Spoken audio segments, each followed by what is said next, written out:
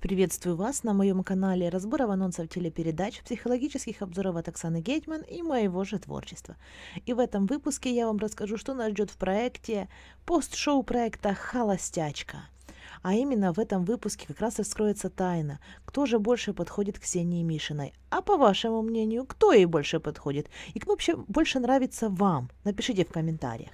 Среди экспертов у нас, как всегда, Жильветра, Арифния, Юлия Карпова, ведущая Хеппи Ранка вместе с э, Рыбаком и Кытя Цибульска. Да, разбиралась тема психологическая совместимость. Когда рыбак сдался и перестал завоевывать Ксению, ему все советовали, что это его ошибка, а Цибульская сказала, что нельзя женщину даже мать. А мое мнение, все хорошо в меру. Нужен просто баланс. Для кого-то нужен мужчина, который больше давит, для кого-то, который меньше. Ксения не верит Баку и не зря. Ему оказалось все равно, с кем она останется. С Сашей останется, с Лешей. Ему будет все равно, он также будет дружить с Сашей. По-моему, ему и на Ксению реально все равно.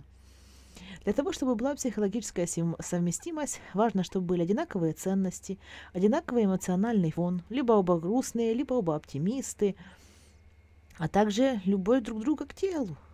Также на пост-шоу произвелось тестирование, кто больше подходит к Ксении Мишиной, Саша или Леша.